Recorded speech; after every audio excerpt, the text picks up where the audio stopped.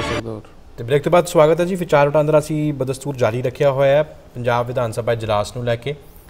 ਹੁਣ ਜਿਹੜਾ ਸੈਸ਼ਨ ਆਖਰੀ ਦਿਨ ਦਾ ਰਹਿ ਗਿਆ ਇਸ ਅਖੀਰਲੇ ਦਿਨ ਦੇ ਵਿੱਚ ਕੀ ਕੁਝ ਹੋ ਸਕਦਾ ਹੈ, ਉਹ ਐਨਾਲਿਸਿਸ ਕਰਨ ਦੀ ਕੋਸ਼ਿਸ਼ ਕਰਦੇ ਹਾਂ। ਔਰ ਜਿਹੜੇ ਕਾਲਰ ਸਾਨੂੰ ਕਾਲ ਕਰਕੇ ਆਪਣੇ ਪ੍ਰਤੀਕਰਮ ਵੀ ਦੇਣਾ ਚਾਹੁੰਦੇ ਹਨ, ਤਾਂ ਹੇਠ ਲਿਖੇ ਨੰਬਰ ਦੇ ਉੱਤੇ ਤੁਸੀਂ ਕਾਲ ਕਰਕੇ ਆਪਣੇ ਪ੍ਰਤੀਕਰਮ, ਆਪਣੇ ਤਰਕ, ਆਪਣੇ ਸੁਜੈਸ਼ਨਸ ਆਪਣੇ ਫੀਡਬੈਕ ਸਾਨੂੰ ਦੇ ਸਕਦੇ ਹੋ। ਵਾਟ ਯੂ ਥਿੰਕ ਹੁਣ ਕੀ ਹੋਏਗਾ? ਕੱਲ ਕੀ ਹੋਣ ਵਾਲਾ? ਦੇਖੋ, ਜਿਹੜੀ ਜਸਟਿਸ ਰਣਜੀਤ ਸਿੰਘ ਦੀ ਕਮਿਸ਼ਨ ਦੀ ਰਿਪੋਰਟ ਹੈ, ਉਹਨੂੰ ਲੈ ਕੇ ਖਦਸ਼ਾ ਸੀ ਕਿ ਹੰਗਾਮਾ ਹੋਏਗਾ, ਹੋ ਗਿਆ।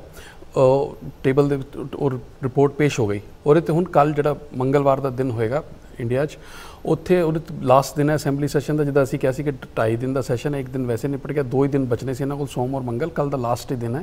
ਉਹ ਕੱਲ ਇਹਦੇ ਤੇ ਹੁਣ ਬਹਿਸ ਹੋਏਗੀ।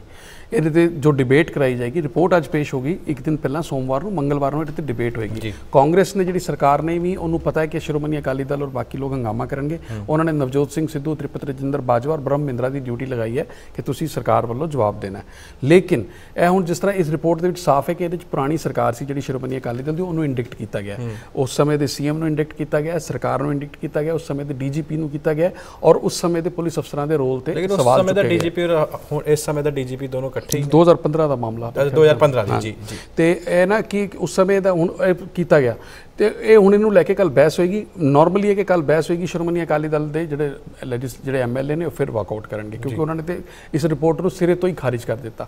ਗੱਲ ਉੱਥੇ ਹੀ ਘੁੰਮ ਕੇ ਆਂਦੀ ਹੈ ਕਿ ਰਿਪੋਰਟ ਜਿਹੜੀ ਲੀਕ ਹੋਈ ਇਹਦਾ ਸਰਕਾਰ ਨੂੰ ਵੀ ਖਾਮਿਆਜਾ ਮਿਲਿਆ ਸਰਕਾਰ ਦੀ ਨਾਕਾਮੀ ਤੇ ਹੋਈ ਹੈ। ਪਰ ਇਹਦਾ ਮੈਂ ਕਹਿੰਦਾ ਸ਼੍ਰੋਮਣੀ ਅਕਾਲੀ ਦਲ ਨੂੰ ਇੱਕ ਤਰ੍ਹਾਂ ਦਾ ਫਾਇਦਾ ਹੋ ਗਿਆ ਕਿ ਉਹਨਾਂ ਨੂੰ ਪਹਿਲਾਂ ਹੀ ਇਹਦਾ ਕੰਟੈਂਟ ਪਤਾ ਲੱਗ ਗਿਆ। ਪਹਿਲਾਂ ਹੀ ਉਹਨਾਂ ਨੂੰ ਆਪਣੀ ਸਟ੍ਰੈਟਜੀ ਬਣਾਉਣੀ ਆਸਾਨ ਹੋ ਗਈ। ਉਹਨਾਂ ਨੂੰ ਪਹਿਲਾਂ ਹੀ ਆਪਣੀ ਮੋਡਸ ਆਪਰੈਂਡੀ ਉਹਨਾਂ ਨੇ ਬਣਾ ਲਈ ਵੀ ਅਸੀਂ ਕਰਨਾ ਕੀ ਹੈ। 5-5 10 ਰੁਪਏ ਦੀ ਸਕੀਮ ਉਹਨਾਂ ਨੂੰ ਪਹਿਲਾਂ ਪਤਾ ਚੱਲ ਗਈ ਕਿਵੇਂ ਖੇਲ ਹੈ, ਉਹ ਸਕਦਾ। ਵੀ ਗਲਤ ਇਤਰਾਜ਼ ਸੀ ਕਿ ਉਹਨਾਂ ਨੂੰ ਹਾਊਸ ਦੇ ਵਿੱਚ ਬਹਿ ਕੇ ਫੇਸ ਕਰਨਾ ਚਾਹੀਦਾ ਸੀਗਾ।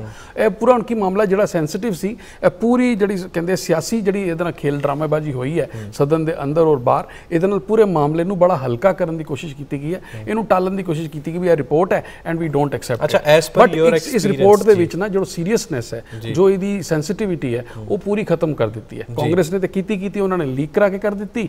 ਇਧਰੋਂ ਸ਼੍ਰੋਮਣੀ ਅਕਾਲੀ ਦਲ ਨੇ ਕਿਹਾ ਜੀ ਅਸੀਂ ਐਕਸੈਪਟ ਨਹੀਂ ਕਰਦੇ 5 ਰੁਪਏ ਦੀ ਰਿਪੋਰਟ ਹੈ ਉਹਨਾਂ ਨੇ ਵੀ ਖਤਮ ਕਰਤੀ। ਤੇ ਪੂਰਾ ਮਾਮਲਾ ਹੀ ਇੱਕ ਤਰ੍ਹਾਂ ਦਾ ਬੇਅਦਬੀ ਦਾ ਜਿਹੜਾ ਸੀਗਾ ਲੋਕਾਂ ਦੇ ਇਮੋਸ਼ਨ ਜੁੜੇ ਹੋਏ ਸੀ। ਉਹ ਇਹ ਸਿਆਸੀ ਲੜਾਈ ਦੇ ਵਿੱਚ ਸਿਆਸੀ ਡਰਾਮੇਬਾਜ਼ੀ ਦੇ ਵਿੱਚ ਦੋਨਾਂ ਧਿਰਾਂ ਨੇ ਦੋਨਾਂ ਪਾਰਟੀਆਂ ਨੇ ਪੂਰੀ ਸੈਂਸਿਟਿਵਿਟੀ ਖਤਮ ਕਰਤੀ। ਕੱਲ ਹੁਣ ਹੰਗਾਮਾ ਹੋਏਗਾ ਕੁਝ ਹੋਣਾ ਹਾਣਾ ਹੈ ਨਹੀਂ ਉਸ ਤੋਂ ਬਾਅਦ ਸਦਨ ਖਤਮ ਆਪਣੇ ਆਪਣੇ ਘਰ। ਅੱਛਾ as per your experience in Punjab politics I would like to ask ਮੈਂ ਜ਼ਰੂਰ ਪੁੱਛਣਾ ਚਾਹੁੰਦਾ ਤੁਹਾਨੂੰ ਕਿ ਅਸਲੀ ਮੁੱਦੇ ਜਿਹੜੇ ਨੇ ਉਹਨਾਂ ਦੇ ਉੱਤੇ ਡਾਇਲੋਗ ਕਦ ਹੋਏਗਾ? ਉਹਨਾਂ ਦੇ ਉੱਤੇ ਡਿਬੇਟ ਕਦ ਹੋਏਗੀ? ਉਹਨਾਂ ਦੇ ਉੱਤੇ ਵਿਚਾਰ ਵਟਾਂਦਰਾ ਕਦ ਹੋਏਗਾ? ਦੇਖੋ ਇਹ ਬੜਾ ਦੁਰਭਾਗਪੂਰਨ ਹੈ ਬੜਾ ਅਨਫੋਰਚੂਨੇਟ ਹੈ ਕਿ ਪੰਜਾਬ ਦੇ ਵਿੱਚ ਨਹੀਂ ਇੰਡੀਆ ਦੀ ਪੋਲਿਟਿਕਸ ਦੇ ਵਿੱਚ ਜਿਵੇਂ ਬਾਰ-ਬਾਰ ਕਹਿੰਦੇ ਆ ਕਿ ਇੰਡੀਆ ਦੀ ਪੋਲਿਟਿਕਸ ਦੇ ਵਿੱਚ ਮੁੱਦੇ ਹੁੰਦੇ ਨਹੀਂ ਆ ਮੁੱਦੇ ਬਣਾਏ ਜਾਂਦੇ ਆ। ਉੱਥੇ ਦੀ ਜਿਹੜੇ ਜਿਹੜੇ ਲੋਕ ਸਭਾਵਾਂ ਦੇ ਵਿੱਚ ਵਿਧਾਨ ਸਭਾਵਾਂ ਦੇ ਵਿੱਚ ਜੋ ਡਿਸਕਸ ਹੁੰਦਾ ਉਹ ਐ ਨਹੀਂ ਹੁੰਦਾ ਕਿ ਐਜੂਕੇਸ਼ਨ ਦਾ ਕੀ ਕਰਨਾ ਹੈ ਮਿਡ ਡੇ ਮੀਲ ਦਾ ਕੀ ਕਰਨਾ ਹੈ ਸਕੂਲ ਦਾ ਕੀ ਕਰਨਾ ਹੈ ਹਸਪਤਾਲਾਂ ਦਾ ਕੀ ਕਰਨਾ ਹੈ ਸੜਕਾਂ ਦਾ ਕੀ ਕਰਨਾ ਹੈ ਪਾਣੀ ਦਾ ਕੀ ਕਰਨਾ ਹੈ ਬਿਜਲੀ ਦਾ ਕੀ ਕਰਨਾ ਹੈ ਉਹ ਇਹ ਮੁੱਦੇ ਨਹੀਂ ਡਿਸਕਸ ਹੁੰਦੇ। ਉੱਥੇ ਇਹ ਡਿਸਕਸ ਹੁੰਦਾ ਹੈ ਰਾਹੁਲ ਗਾਂਧੀ ਨੇ ਲੰਡਨ ਵਿੱਚ क्या बयान दिया उन्होंने वहां जाके ये क्यों कहा नरेंद्र मोदी के ऊपर क्या इल्जाम लगा दिए नरेंद्र मोदी फिर चार दिन ਉਹਨੂੰ ਆਪਣਾ ਜਵਾਬ ਦੇਣ ਚ ਲਾਉਂਦੇ ਆ ਸਦਨ ਖਤਮ ਹੁਣ ਇੱਥੇ ਵੀ ਇਹ ਕਹਾਣੀ ਹੋਈ ਕਿ ਬੇਅਦਬੀ ਦਾ ਮਾਮਲਾ ਸਰਕਾਰ ਨੇ ਚੁੱਕਿਆ ਸਰਕਾਰ ਨੇ ਕਿਹਾ ਜਾਂਚ ਕਰਾਵਾਂਗੇ ਹੁਣ ਅਸੈਂਬਲੀ ਦਾ ਸੈਸ਼ਨ ਲੱਗਾ ਦੋ ਢਾਈ ਦਿਨ ਇਸੇ ਚੱਕਰ 'ਚ ਨਿਕਲ ਜਾਣੇ ਭੁੱਲ ਜਾਓ ਐਜੂਕੇਸ਼ਨ ਭੁੱਲ ਜਾਓ ਸਵਸਥ ਹੈ ਭੁੱਲ ਜਾਓ ਸੜਕਾਂ ਪਾਣੀ ਪਾ- ਨਦੀਆਂ ਦਾ ਪਾਣੀ ਕੋਈ ਡਿਸਕਸ ਨਹੀਂ ਹੋਣਾ ਆਮ ਆਦਮੀ ਜਿਹੜੇ ਜਿਹੜੇ ਲੋਕਾਂ ਦੇ ਨਾਲ ਜੁੜੇ ਹੋਏ ਮੁੱਦੇ ਨੇ ਉਹ ਤੇ ਸਰਕਾਰਾਂ ਆਣ ਹੀ ਨਹੀਂ ਦਿੰਦੀਆਂ ਅਸੈਂਬਲੀ ਦੇ ਵਿੱਚ ਸਰਕਾਰ ਇਸ ਵਾਸਤੇ ਨਹੀਂ ਆਣ ਦਿੰਦੀ ਕਿ ਸਾਡੀ ਜਵਾਬਦੇਹੀ ਹੋਏਗੀ ਆਪੋਜੀਸ਼ਨ ਵਾਲੇ ਆਪਣੀ ਜਾਨ ਬਚਾਉਂਦੇ ਫਿਰਦੇ ਆ, ਤੇ this is very unfortunate then if if we about the other issues like ਜਿਹੜੇ ਹੁਣ uh, ਇਹਨਾਂ ਨੇ ਟੈਕਸੇਸ਼ਨ ਪਾਲਿਸੀਜ਼ ਦੇ ਵਿੱਚ ਤਬਦੀਲੀਆਂ ਕਰਨੀਆਂ ਸੀਗੀਆਂ, ਕਿਉਂਕਿ ਮਨਪ੍ਰੀਤ ਬਾਦਲ ਨੂੰ ਅਸੀਂ ਸੁਣਦੇ ਹੋਏ ਨਜ਼ਰ ਆਏ ਸੀਗੇ ਕਿ ਕਈ ਟੈਕਸੇਸ਼ਨ ਪਾਲਿਸੀਜ਼ ਆ ਰਹੀਆਂ ਹਨ, ਜਿਸ ਕਰਕੇ ਖਜ਼ਾਨਾ ਜਿਹੜਾ ਭਰਿਆ ਜਾਏਗਾ। ਹੁਣ ਇਹ ਗੱਲ ਮੈਨੂੰ ਲੱਗਦਾ ਹੈ ਕਿ ਕੋਈ ਵੀ ਮੀਡੀਆ ਹਾਊਸ ਜਿਹੜਾ ਹੈ ਉਹ ਪੰਜਾਬ ਦੇ ਵਿੱਚ ਨਹੀਂ ਕਰ ਰਿਹਾ। ਔਰ ਮੈਨੂੰ ਲੱਗਦਾ ਕਿ ਜ਼ਿੰਮੇਵਾਰੀ ਬਣਦੀ ਹੈ ਕਿ ਸਰਕਾਰਾਂ ਨੂੰ ਅਗਰ। ਲੋਕਾਂ ਨੂੰ ਗੁੰਮਰਾਹ ਕੀਤਾ ਜਾ ਰਿਹਾ ਕਹਾਣੀ- ਮੀਡੀਆ ਦਾ ਵੀ ਜ਼ਿੰਮੇਵਾਰੀ ਬਣਦੀ ਹੈ ਕਿ ਨੌਕ ਨੌਕ ਕਰਨ ਸਰਕਾਰ ਨੂੰ। ਦੱਸੋ ਜਿਹੜੀ ਉਹ ਐਕਸਾਈਜ਼ ਟੈਕਸੇਸ਼ਨ ਪਾਲਿਸੀ ਤੁਸੀਂ ਲੈ ਕੇ ਆ ਰਹੇ ਸੀਗੇ। ਲੈਂਡ ਐਂਡ ਰਿਫਾਰਮਸ ਨੂੰ ਲੈ ਕੇ ਜਿਹੜਾ ਤੁਸੀਂ ਐਕੁਜੀਸ਼ਨ ਬਿੱਲ ਲੈ ਕੇ ਆਣਾ ਹੈ। ਐਜੂਕੇਸ਼ਨ ਸੈਕਟਰ ਲਈ ਜਿਹੜਾ ਤੁਸੀਂ ਬਿੱਲ ਲੈ ਕੇ ਆਣਾ ਉਸ ਬਿੱਲ ਦੇ ਵਿੱਚ ਕੀ ਹੈ? ਕੀ ਤੁਸੀਂ ਸੰਸ਼ੋਧਨ ਕਰ ਰਹੇ ਹੋ? ਕਿੰਨਾ ਬਜਟ ਵਧਾ ਰਹੇ ਹੋ ਤੁਸੀਂ?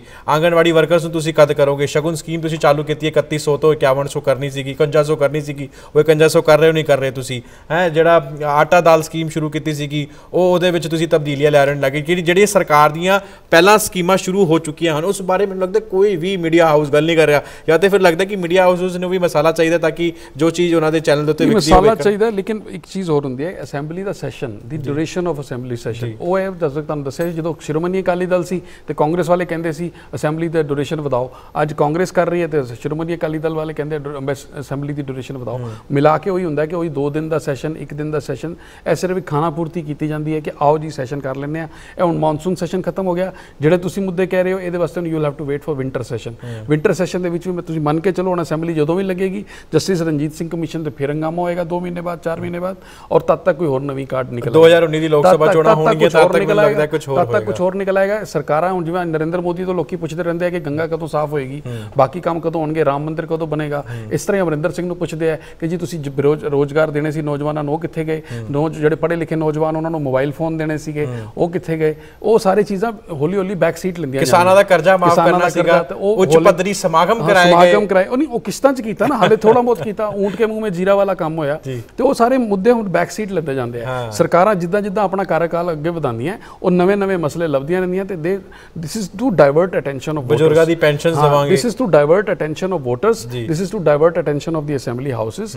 ਕਿ ਆਪਸ ਦੀ ਲੜਾਈਆਂ 'ਚ ਲੱਗੇ ਰਹੋ। ਹੁਣ ਮੈਂ ਤੁਹਾਨੂੰ ਇਹ ਕਿ ਜਸਟਿਸ ਰਣਜੀਤ ਸਿੰਘ ਕਮਿਸ਼ਨ ਨੂੰ ਇੰਨਾ ਓਵਰ ਹਾਈਪ ਕਿਉਂ ਕੀਤਾ ਗਿਆ? ਓਵਰ ਹਾਈਪ ਇਸੇ ਵਾਸਤੇ ਕੀਤਾ ਗਿਆ ਕਿ ਕਾਂਗਰਸ ਪੰਜਾਬ ਸਰਕਾਰ wants to get a political mileage out of it ਕਿਉਂਕਿ ਉਹਨਾਂ ਦੇ ਕਾਰਜਕਾਲ ਦਾ ਤੇ ਹੈ ਨਹੀਂ ਇਹ ਪਿਛਲਾ ਮਾਮਲਾ ਹੈ। ਤੇ they just want to use this to defame Shiromani Akali Dal ਕਿ ਤੁਹਾਡੇ ਖਿਲਾਫ ਸਾਨੂੰ ਸਬੂਤ ਮਿਲ ਗਿਆ ਤੁਹਾਡੇ ਖਿਲਾਫ ਸਾਨੂੰ ਸਬੂਤ ਮਿਲ ਗਿਆ। ਇਹ ਹੁਣ ਪੋਲੀਟੀਕਲ ਗੇਮ ਚੱਲ ਰਹੀ ਹੈ। ਜੇ ਇਹ ਕੰਮ ਕੋਈ ਅਮਰਿੰਦਰ ਸਿੰਘ ਦੀ ਸਰਕਾਰ ਦੇ ਦੌਰਾਨ ਹੋਇਆ ਹੁੰਦਾ ਤੇ ਕਿਆ ਸਰਕਾਰ ਇੰਨੀ ਐਂਥੂਸੀਆਸਟਿਕ ਇੰਨੀ ਚੁਸਤੀ ਫੁਰਤੀ ਦਿਖਾਉਂਦੀ? ਕਦੀ ਨਹੀਂ ਦਿਖਾਉਂਦੀ। Do you think captain Amarinder Singh has soft corner for Badals ਨਹੀਂ ਉਹ ਦੇਖੋ it's it's a political political game for everyone ਲੋਕਾਂ ਨੂੰ ਦਿਸਦਾ ਹਰ ਸਰਕਾਰ ਜਿੱਦਾਂ ਅਸੀਂ ਪਹਿਲਾਂ ਵੀ ਡਿਸਕਸ ਕਰਦੇ ਰਹੇ ਹਾਂ ਕਿ ਹਰ ਸਰਕਾਰ ਹੈ ਕਹਿੰਦੀ ਕਿ ਪਿਛਲੀ ਸਰਕਾਰ ਨੇ ਇਹ ਕੀਤਾ ਸੀ ਇਹ ਕਰਾਂਗੇ ਹੁੰਦਾ ਅਸਲ 'ਚ ਕੁਝ ਨਹੀਂ ਹੈ। ਤਾਂ you can always say is in a soft corner it's like this ਕਿ ਜਦੋਂ ਅਸੀਂ ਆਵਾਂਗੇ you take care of me and when you come you take care of me when I also come you you also take care ਤੇ ਇਦਾਂ ਦੇ ਚਲਦੀਆਂ ਚੀਜ਼ਾਂ ਚਲਦੀਆਂ ਰਹਿੰਦੀਆਂ ਤੁਹਾਨੂੰ ਪਤਾ ਹੀ ਹੈ ਸਾਰਾ ਕੁਝ ਹੋਇਆ।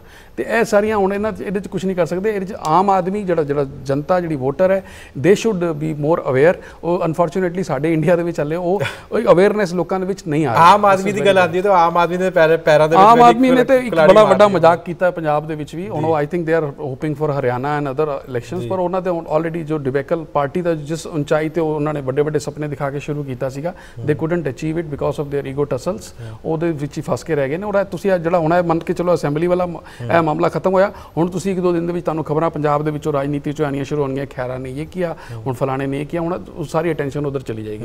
ਐਂਡ ਦੇ ਜਿਹੜਾ ਝਗੜਾ ਇਹਨਾਂ ਦਾ ਈਗੋ ਕਲੈਸ਼ਸ ਸ਼ੁਰੂ ਹੋ ਗਿਆ ਨਾ this is not going to sort out as ਹੁਣ ਇਹ Aam Aadmi party is going towards another you know debacle ਹੁਣ ਅਕਤੂਬਰ ਵੀ ਆ ਰਿਹਾ ਤੇ ਹੁਣ ਚਿੱਟੀ ਮੱਖੀ ਦਾ ਕਹਿਰ ਤੇ ਨਾਲ ਦੇ ਦੂਜੇ ਇਸ਼ੂਜ਼ ਨੇ ਉਹ ਹੁਣ ਨਿਕਲ ਕੇ ਸਾਹਮਣੇ ਆਉਣਗੇ ਹਾਂ ਹੁਣ ਜਿਵੇਂ ਹੁਣ ਬਰਸਾਤਾਂ ਦਾ ਮੌਸਮ ਹੈ ਤੇ ਬਾੜ ਦਾ ਪਾਣੀ ਤੇ ਇਹ ਪਾਣੀ ਇਹ ਕੀ ਹੁੰਦਾ ਹੈ ਦੇਰ ਸਾਡੇ ਇੱਥੇ ਇੱਕ ਮੌਸਮੀ ਬੁਖਾਰ ਹੁੰਦੇ ਆ ਇੱਕ ਮੌਸਮੀ ਚੁਣਾਵੀ ਇਸ਼ੂਜ਼ ਹੁੰਦੇ ਆ ਮੌਸਮੀ ਪੋਲੀਟੀਕਲ ਇਸ਼ੂਜ਼ ਹੁੰਦੇ ਨੇ ਉਹ ਉਨੇ ਕੀ ਦੇਰ ਚੱਲਦੇ ਵਾਟ ਨੇ do you think what can be a conclusion one conclusion is this i think i still feel our political system has to be very refined our ਜਿਹੜੇ leaders ਜਿਹੜੇ ਸਾਡੇ ਚੁਣ ਕੇ ਆਉਂਦੇ ਨੇ they should be more accountable they should be more responsible they should be more answerable ਜਿੱਦਾਂ ਸਾਡੇ ਇੱਕ ਦਰਸ਼ਕ ਨੇ ਕਿਹਾ ਕਿ ਲੋਕਾਂ ਨੂੰ ਸਵਾਲ ਪੁੱਛਣੇ ਚਾਹੀਦੇ ਆ ਆਪਣੇ ਐਮਐਲਏ ਨੂੰ ਆਪਣੇ ਐਮਪੀ ਨੂੰ ਆਪਣੇ ਕਾਉਂਸਲਰ ਨੂੰ ਘੇਰੋ ਪੁੱਛੋ ਕਿ ਅਸੀਂ ਤੈਨੂੰ ਵੋਟ ਦਿੱਤਾ ਤੂੰ ਕਿੱਥੇ ਹੈ ਅਸੀਂ ਤੈਨੂੰ ਵੋਟ ਦਿੱਤਾ ਸਾਡਾ ਕੰਮ ਕਿਉਂ ਨਹੀਂ ਹੋਇਆ they should go and ask their MLA ਕਿ ਤੁਸੀਂ ਅਸੈਂਬਲੀ 'ਚ ਗਏ ਸੀ ਸਾਡਾ ਮੁੱਦਾ ਕਿਉਂ ਨਹੀਂ ਚੱਕਿਆ ਹੁਣ ਐਮਐਲਏ ਵੀ ਹੱਥ ਖੜੇ ਕਰਕੇ ਕਰਦੇ ਕਿ 2.5 ਦਿਨ ਦਾ ਐਸਐਸਸੀ ਅਸੀਂ ਕੀ ਕਰਦੇ ਸਾਰਾ ਨਾ ਇੱਕ ਸਾਰਾ ਰਲਿਆ ਮਿਲਿਆ ਪ੍ਰੋਸੈਸ ਹੈ. There is no accountability of our Indian politicians ਔਰ ਇਹ ਸਭ ਤੋਂ ਵੱਡਾ ਇਹਦਾ ਖਾਮਿਆਜਾ ਸਾਡੇ ਵੋਟਰਸ ਨੂੰ ਭੁਗਤਣਾ ਪੈਂਦਾ ਕਿਉਂਕਿ ਉਹਨਾਂ ਦੇ ਆਮ ਜਨ ਦੇ ਮੁੱਦੇ ਜ- ਪਾਣੀ ਬਿਜਲੀ ਇਹ ਸਭ ਚੀਜ਼ਾਂ ਉੱਥੇ ਤੱਕ ਜਾਂਦੀਆਂ ਹੀ ਨਹੀਂ। ਇਦਾਂ ਹੀ ਇਦਾਂ ਹੁਣ ਅੱਜ ਮੌਨਸੂਨ ਸੈਸ਼ਨ ਹੈ ਕੱਲ ਨੂੰ ਵਿੰਟਰ ਸੈਸ਼ਨ ਹੈ ਕੱਲ ਨੂੰ ਫਿਰ ਸਮਰ ਸੈਸ਼ਨ ਹੋ ਜਾਏਗਾ ਇਦਾਂ ਚੱਲਦਾ ਰਹੇਗਾ ਕੰਮ। ਜੀ ਜੀ 5 ਸਾਲ ਪੂਰੇ ਹੋ ਜਾਣਗੇ ਫਿਰ ਇਲੈਕਸ਼ਨ ਆ ਜਾਣਗੇ ਪੰਜਾਬ 'ਚ। 5 ਸਾਲ ਪੂਰੇ ਹੋ ਜਾਣਗੇ ਲੇਕਿਨ ਲੋੜ ਹੈਗੀ ਕਿ ਜਿਹੜੀ ਗੱਲ ਤੁਸੀਂ ਕਹੀ ਹੈ ਕਿ ਮੋਰ ਆਨਸਰੇਬਲ ਹੋਣਾ ਚਾਹੀਦਾ ਹੈ ਮੋਰ ਇੰਟੈਲੈਕਚੁਅਲ ਹੋਣਾ ਚਾਹੀਦਾ ਹੈ ਪੜ੍ਹਿਆ ਲਿਖਿਆ ਸਭ ਤੋਂ ਜ਼ਿਆਦਾ ਜ਼ਰੂਰੀ ਹੈ ਹੋਣਾ ਚਾਹੀਦਾ ਪੰਜਵੀਂ ਪਾਸ ਨਾ ਹੋਏ ਤਾਂ ਕਿ ਆਪਣਾ ਨਾਮ ਵੀ ਨਾ ਲਿਖ ਸਕੇ ਔਰ ਉਹਨੂੰ ਅਸੀਂ ਐਮਐਲਏ ਜਾਂ ਐਮਪੀ ਬਣਾਇਆ ਹੋਇਆ ਤੇ ਲੋੜ ਹੈਗੀ ਹੈ ਤੁਹਾਡੀ ਵੀ ਆਪਣੇ ਰਿਸ਼ਤੇਦਾਰਾਂ ਨੂੰ ਆਪਣੇ ਜੀਆਂ ਨੂੰ ਸਮਝਾਓ। ਅ, ਤੁਸੀਂ ਯੂਕੇ ਯੂਰਪ ਦੇ ਵਿੱਚ ਵੱਸਦੇ ਹੋ ਲੇਕਿਨ ਇੱਕ ਪਰਿਵਾਰ ਜਿਹੜਾ ਉਹ ਜ਼ਰੂਰ ਪੰਜਾਬ ਦੇ ਵਿੱਚ ਛੱਡੋ। ਅਸੀਂ ਵੀ ਕੋਸ਼ਿਸ਼ ਕਰਦੇ ਹਾਂ ਕਿ ਪਿੰਡ ਦੇ ਵਿੱਚ ਜਿਹੜੇ ਸਾਡੇ ਅਨ ਸੂਝ ਸੂਝਵਾਨ ਨੇ ਜਿਹੜੇ ਸਾਡੇ ਨੌਜਵਾਨ ਨੇ, ਉਹਨਾਂ ਨੂੰ ਅਸੀਂ ਸਮਝਾਉਂਦੇ ਆ ਕਿ ਆਪਣੇ ਐਮਪੀਜ਼ ਨੂੰ ਜਾ ਕੇ, ਆਪਣੇ ਐਮਐਲਏਜ਼ ਨੂੰ ਜਾ ਕੇ ਸਵਾਲ ਪੁੱਛੋ ਔਰ ਪਿੰਡਾਂ ਦੇ ਵਿੱਚ ਜੋ ਤੁਹਾਡੇ ਮੁੱਦੇ ਹਨ, ਉਹਨਾਂ ਨੂੰ ਚੱਕੋ ਤਾਂ ਕਿ ਉਹਨਾਂ ਨੂੰ ਪਤਾ ਚੱਲ ਸਕੇ ਕਿ ਮੇਰੇ ਜਿਹੜੇ ਪਿੰਡ ਦੇ ਲੋਕ ਨੇ, ਉਹ ਬੇਵਕੂਫ ਨਹੀਂ ਹੈਗੇ, ਉਹ ਵੋਟ ਨਹੀਂ ਦੇਣਗੇ ਗੱਲਾਂ ਗੱਲਾਂ ਕਰਕੇ। ਇਸ ਵਾਰ ਮੈਂ ਅਗਰ ਵੋਟ ਲੈਣੀ ਹੈ, ਤੇ ਮੈਨੂੰ ਉਹਨਾਂ ਦਾ ਕੰਮ ਕਰਨਾ ਪਏਗਾ। ਤੇ ਇਸੇ ਕਰਕੇ ਮੈਨੂੰ ਵੋਟ ਵੀ ਮਿਲਣਗੀਆਂ। ਇਹ ਸਮਝਾਉਣ ਦੀ ਲੋੜ ਹੈਗੀ ਹੈ, ਜ਼ਿੰਮੇਵਾਰੀ ਸਾਡੀ ਵੀ ਬਣਦੀ ਹੈ, ਤੁਹਾਡੀ ਵੀ ਬਣਦੀ ਹੈ। ਅਸੀਂ ਇਸੇ ਤਰੀਕੇ ਤੇ ਜਿਹੜੇ ਮੁੱਦੇ ਨੇ ਤੁਹਾਡੇ ਸਾਹਮਣੇ ਲਿਆਂਦੇ ਰਵਾਂਗੇ। ਹੋਰ ਕਿਹੜੇ-ਕਿਹੜੇ ਮੁੱਦੇ ਲਿਆਉਣ ਦੀ ਲੋੜ ਹੈਗੀ ਹੈ। ਜੇਕਰ ਯੂਰਪ ਦੇ ਵਿੱਚ ਕੋਈ ਭਗਦਾ ਮਸਲਾ ਹੈਗਾ, ਤੁਸੀਂ ਮੈਨੂੰ ਜਰੂਰ ਲਿਖ ਕੇ ਭੇਜੋ। ਯੂਕੇ ਦੇ ਵਿੱਚ ਕੋਈ ਭਗਦਾ ਮਸਲਾ ਹੈਗਾ, ਮੈਨੂੰ ਜਰੂਰ ਲਿਖ ਕੇ ਭੇਜੋ ਤਾਂ ਕਿ ਅਸੀਂ ਉੱਥੇ ਦੇ ਵੀ ਲੋਕਲ ਜਿਹੜੇ ਮੁੱਦੇ ਨੇ, ਉਹ ਵੀ ਤੁਹਾਡੇ ਸਾਹਮਣੇ ਲੈ ਕੇ ਆਈ ਸ- ਲੈ ਕੇ ਆ ਸਕੀਏ। info@justbroadcasting.com harkirat@justbroadcasting.com ਦੇ ਉੱਤੇ। ਇੰਦਰਜੀਤ ਸਿੰਘ ਜੀ ਦਾ ਮੈਨੂੰ ਇੱਕ ਮੇਲ ਆਈ ਸੀ ਕਿ ਉਹਨਾਂ ਨੇ ਮੈਨੂੰ ਪੁੱਛਿਆ ਸੀਗਾ ਕਿ ਅਸੀਂ ਐਡਵਰਟਾਈਜ਼ਮੈਂਟ ਦੇਣਾ ਚਾਹੁੰਦੇ ਆ ਤੇ ਮੈਂ ਉਹਨਾਂ ਨੂੰ ਦਰਖਾਸਤ ਕਰਾਂਗਾ ਕਿ ਇਸ ਹੇਠ ਲਿਖੇ ਨੰਬਰ ਦੇ ਉੱਤੇ ਤੁਸੀਂ ਕਾਲ ਕਰਕੇ ਆਪਣੀ ਐਡਵਰਟਾਈਜ਼ਮੈਂਟ ਦੇ ਲਈ ਜਾਣਕਾਰੀ ਜਿਹੜੀ ਹੈ ਪ੍ਰਾਪਤ ਕਰ ਸਕਦੇ ਹੋ। ਰੇਟ ਕਾਰਡ ਔਰ ਜਬ ਸਭ ਕੁਝ ਜਿਹੜਾ ਹੈਗਾ ਕਮਰਸ਼ੀਅਲ ਉਹ ਇਸ ਨੰਬਰ ਦੇ ਉੱਤੇ ਤੁਹਾਨੂੰ ਮਿਲ ਜਾਏਗਾ। ਜਾਂ ਤਾਂ ਤੁਸੀਂ ਮੇਲ ਵੀ ਕਰ ਸਕਦੇ ਹੋ info@justbroadcasting.com harkirat@justbroadcasting.com ਦੇ ਉੱਤੇ ਔਰ ਜਿਹੜੀ ਜਾਣਕਾਰੀ ਹੈ ਤੁਹਾਨੂੰ ਮਿਲ ਜਾਏਗੀ। ਫਿਲਹਾਲ ਅੱਜ ਦੇ ਮੁੱਦੇ ਦੇ ਵਿੱਚ ਮੈਨੂੰ ਹਰਕੀਰਤ ਸਿੰਘ ਆਲੂਵਾਲੀਆ ਤੇ ਮੇਰੇ ਨਾਲ ਨਵੀਨ ਸ਼ਰਮਾ ਜੀ ਹੋਰਾਂ ਨੂੰ ਦੋ ਇਜਾਜ਼ਤ। ਧੰਨਵਾਦ। ਸਤਿ ਸ੍ਰੀ ਅਕਾਲ।